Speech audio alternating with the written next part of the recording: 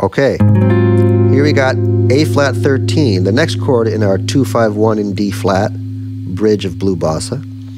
If you notice, this A flat 7 sound has a 13th on it, and I wanted to explore this 13th um, because it gives us a chance to explore a dominant chord that does not have altered notes like the sharper flat 9, sharper flat 5, flat, thir- uh, flat 13, or sharp 11, any of those weird notes. This doesn't have any of those. And so it gives us a more simple diatonic jazzy sound. And the arpeggio, all good. Let's add that ninth to get that signature jazz. Let's put a little slide into it. Chromatic to go down to the root of the arpeggio. Let's fill that arpeggio in.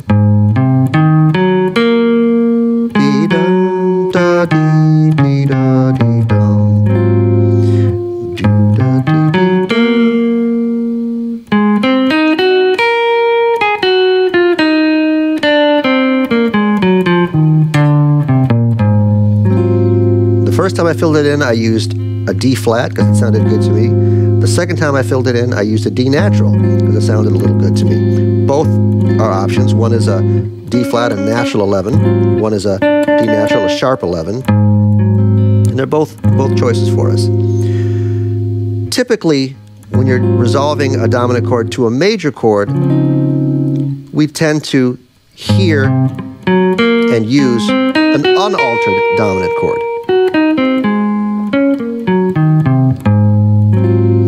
Mean you can't alter it. It sounds great if you alter it.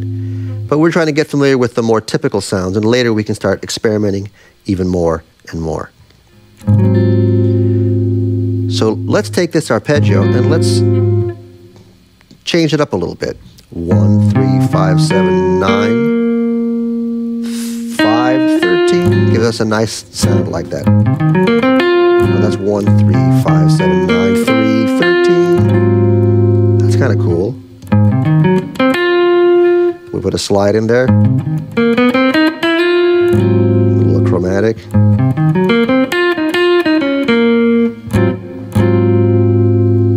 One of the things you'll notice is playing these arpeggios eventually becomes a kind of jamming on the chord, choosing the notes that you like. And eventually you'll start falling into patterns that you dig, that sound good to you, that work for you, and are the basis of your own style.